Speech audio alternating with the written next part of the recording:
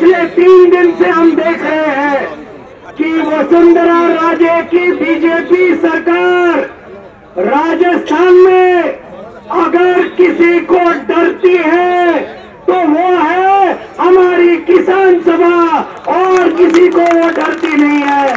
ये हमने आज सबूत करके दिखाया है। किसान सभा के भूतपूर्व अखिल भारतीय अध्यक्ष कॉमरेड अमरा राम जी को इन्होंने बहुत बेशर्मी के साथ गिरफ़्तार किया। कॉमरेड पेमाराम को गिरफ़्तार किया। बे, बेनीवाल को उन्होंने गिरफ़्तार किया। हमारे राजस्थान के एक हज़ार के ज़्यादा हमारे नेताओं को गिरफ़्तार किया। आज हम यहाँ ऐलान करना चाहते हैं जब तक किसान सभा के हमारे नेताओं को रिहा न कर दिया जाए। तब तक ये घेराव हम उठाएँगे नहीं।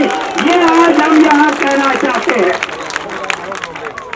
आज पूरे भारत में किसानों का कर्जा माफ़ करने के लिए कितना पैसा लगेगा? बहुत हो गया तो 12 से 15 लाख करोड़ रुपए लगेंगे।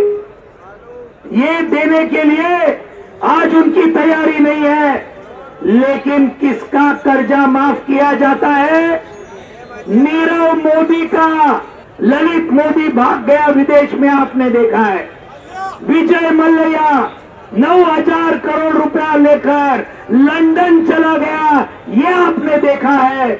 और हमारा छप्पन इंच छाती का प्रधानमंत्री, इसके अंदर वो दम नहीं है कि ये जो विदेश में भाग गए भारत का कर्जा डुबाकर उनको भारत में लाने का इनके पास में हिम्मत नहीं है, ये ध्यान में रखना चाहिए।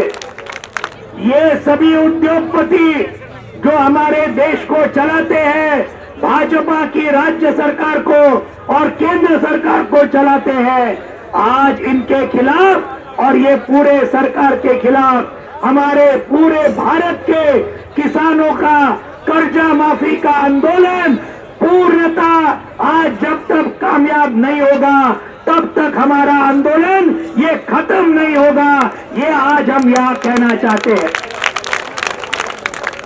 हम आज ये ऐलान करते हैं, नवंबर के विधानसभा चुनाव में भाजपा का एक भी विधायक आज चुन के विधानसभा में नहीं जाएगा, ये आज हमको यहाँ तय करना है। भारतीय किसान सभा जिंदाबाद। अखिल भारतीय किसान सभा जिंदाबाद। जिंदाबाद जिंदाबाद। मजदूर किसान एकता जिंदाबाद। जिंदाबाद जिंदाबाद। मजदूर किसान एकता जिंदाबाद। जिंदाबाद। इनकलाब